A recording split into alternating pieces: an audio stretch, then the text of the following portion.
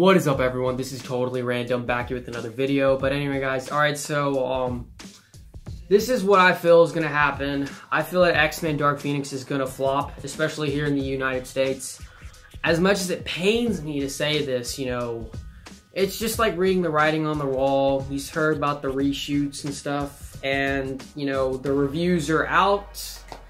It's at like what a 21% as of right now on Rotten Tomatoes. It could go up uh, though I'll quickly say, don't pay attention to that 21%. Look at the average rating because that tells you what people are actually feeling about the movie, the quality of the movie, which is mixed, honestly. It sounds like it's negative, full on negative with the Rotten Tomatoes, but it's mixed. And go to Metacritic. Don't don't even pay attention to Rotten Tomatoes. Go to Metacritic. Metacritic has it at like a 40, 50 something out of 100, which is mixed. It's mixed. It's not full on negative. If you want to look at negative, just go look at The Last Airbender. The Last Airbender's got like a 5% Rotten Tomatoes, which is obviously terrible still, you know, but look at the average rating. The average rating's like a 2 out of 2 or 3-ish range out of 10. That's bad. That is bad. The Dark Phoenix is not bad. It's mixed.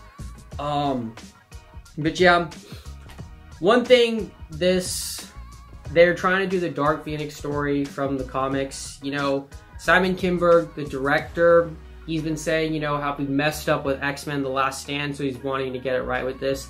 And frankly, I just never thought he was going to get it right. You know, he's he's this is his first movie that he's directing, but I just never felt that confidence in this guy, you know, because he's written bad movies and he's written good movies. He wrote the pat all the X Men movies essentially to this point, you know, and you can see which ones are bad, which ones are, are good, you know. And this is the first time he's directing it, and frankly, I, as I said before, I just don't have any confidence in the guy as a director. I prefer, preferably would have liked Bryan Singer to direct it because I, me personally, I liked X Men Dark or X Men Apocalypse a lot. I liked X Men Days of Future Past. I liked X Men First Class. I like this new trilogy or the new the newer movies from First Class onwards. I still don't get the hate for Apocalypse. I get Apocalypse is not the greatest villain, you know, but overall I still like the movie a lot, a lot more than Days of Future Past. The Dark Phoenix, uh, all indications, as I said, it just points like it's gonna flop. It's at a 50. People are saying 55 million opening weekend. Um, it's probably not gonna be that. To be honest, it's not gonna be 55. Uh, the Secret Life of Pets 2 is coming out. That's probably gonna make take up the weekend. And on top of that, you still have Aladdin playing, which is doing, I guess, well. Surprisingly, it's the reviews because, you know, the narrative is already there that the movie's trash now. So, uh, a lot of people are like, oh, I'll just wait for it to come out. And and um, this is the this is the big point. Jennifer Lawrence and that whole ex-woman scene Oh my goodness, why would you release that clip? Uh, it's gonna bring so much divisiveness, regardless of whether you're a feminist or not a feminist. It's just, it's gonna be so polarizing. Just look at the dislikes on that video. It's, I mean, if you haven't seen the clip, go watch it. It's, it's a perfectly fine scene until the last line. I can't actually remember the last time you were the one risking something. And by the way, the women are always saving the men around here. You might want to think about changing the name to X Women. Where, where Jennifer Lawrence just, oh, Jennifer Lawrence go, or um, not Jennifer Lawrence, uh, Mystique goes off the rail, goes full on stupid, goes full SJW. She, I, I, I this is Simon Kinberg. You, you should know. Okay, this isn't the MCU. This is Fox Marvel. This isn't the MCU. This is Fox Marvel. You do not have the power that the MCU has, where they can do, you know, with Captain Marvel and all that, and still make a billion dollars. You do not have that power. So don't put your politics in the movie by saying this stupid, stupid line. And I'm telling you, the whole two minute scene that they released on YouTube is fine up to that one freaking point where she says that dumbass line and you just lose everyone. Everyone, literally the comments are like, that was good until that line. It was good until that line. She literally just didn't have to say that line and it would have been fine. That's lot, and then a lot of comments are like, I'll just wait for it to come out. I'll just wait. That doesn't do you any service, Fox. That doesn't do you any service. And, and now you're really, really giving Disney and the MCU a real big number major reason for buying Fox now. It's like, yep, they're just gonna fix it and make it better now. You, people who have been supportive of you are just like, man, now you're really making a now you're really backing the fact that Disney bought them. You know, now people, me personally, I liked the way it was to an extent. I just like the newer movies, you know, and I'm gonna miss that because now they're gonna marvelize it, add the jokes, the humor, the family, popcorn flicks, audience, whatever. To, and that's what I'm gonna miss. And it's it's gonna become that generic stuff that we see with majority of the MCU movies. Not all of them. There are a lot of them out there, um, like the Infinity War, Endgame, um, The Winter Soldier. Those are the rare, and me personally, Guardians of the Galaxy, uh, that are diff don't follow the MCU sort of formula to an extent. But um, they're gonna now bring that in with the X Men movies, and it's, I mean, they have no plans as of right now for the X Men, but you know, a couple years from now, they're gonna start fitting them in along with Fantastic Four. I don't know what Deadpool. Deadpool. Ugh, that pisses me off. Deadpool, they, they can't make Deadpool like that, you know, because it's Disney. They they you can't have a rated R. I mean, I don't know how they're gonna do it, but we'll see. But with Dark Phoenix, you, you didn't have to bring that stupid clip in. That's stupid, stupid. I'm telling you, it's so polarizing for people, you know, because the SJWs are gonna be like, yes, amen, praise that clip, praise Jennifer Lawrence, praise Simon Kinberg for writing that. And then the rest of the audience are gonna be like, what the I'm not going. I'm not going. The fact is, it's viral. A lot of people are seeing it over Twitter, social media. That's not, you want people to see stuff of your movie and like, but like it. Not send a message like, don't watch our movie. We got the politics right here that you love to see in our movies, you know? And that this could, that's a that is a big reason why this movie is gonna flop. It's not gonna do well this weekend. You know, you have me who's been wanting this movie to succeed. I wanted to make a video talking saying specifically go watch X-Men Dark Phoenix because it's like the send-off for this whole thing. The send-off for the Fox movies, you know? It's kind of the way when a soccer player or football player is playing his last game before he retires, you know, regardless of whether you hate the player or not, you go there, you watch the game, you know, you watch it on TV and you when the guy gets in soccer where he gets subbed off for a football, you know, after the game, you go to the fans, you give him, in, in football, or in soccer specifically, when the guy, he gets subbed off and everyone stands up and claps for him. That's what you're supposed to do for X-Men Dark Phoenix, because it's sort of a send-off for this.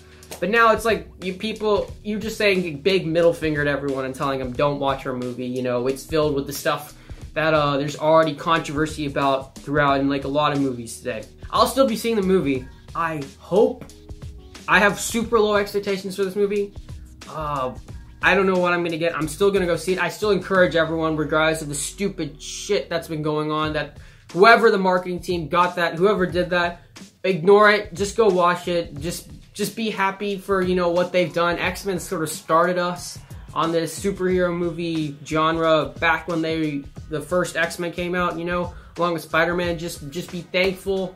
You know, for that's what started the Marvel sort of not cinematic universe, but Marvel movies Marvel Comics making their movies, you know, just go there and just be like, whatever, man, just per, just be happy, you know, that's a send off. That's my that's my whole take on this and my message to you guys, you know, regardless of the stupidity that they they are doing, and I mean, I don't know, but yeah.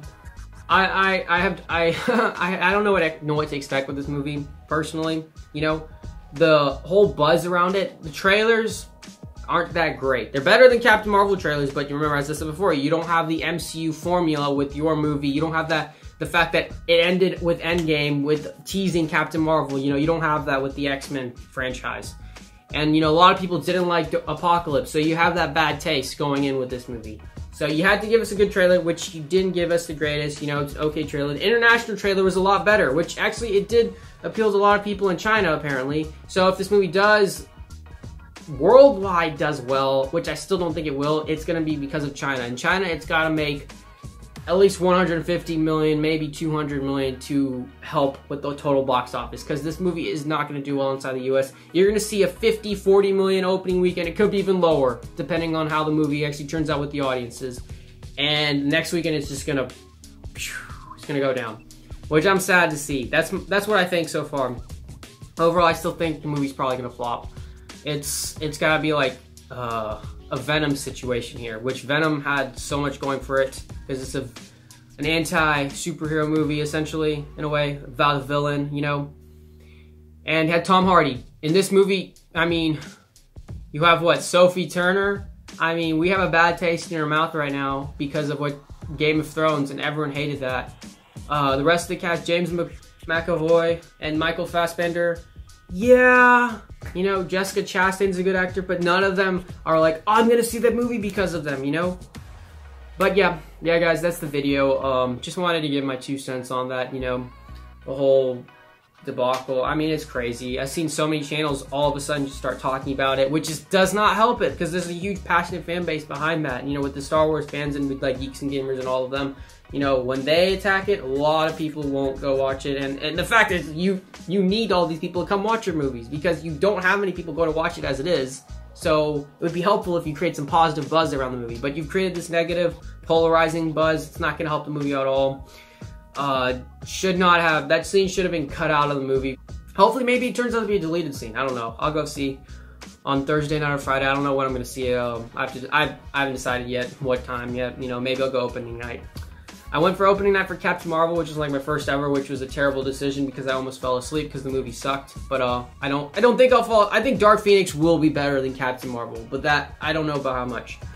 But uh, anyway, guys, that's the video. Let me know your thoughts down below if you agree with me or not, or if your opinions about the whole video stuff that came out, or if you're like, no, that was a perfect video. That's a perfect example of what we need in today's society. You know, if you think that, write that down. I think it's stupid, but whatever our world's not is becoming messy today. They still think that the feminism stuff and is what people want to see. Less men, more white males. No, people just want to see a good movie. That where you can forget about the world, essentially. Forget about your issues that are happening. Forget about work, college, school, um, you know, having to, I don't know, go pick someone up, essentially. Forgetting about the, this, the, the, the struggles of life, you know. That's what going to the movies about, you know. And if you come into the movie and bring the stuff that we don't want to see that reminds us exactly of what we're trying to forget, people aren't going to like it. But anyway, guys, that's the video. Let me know your thoughts down below.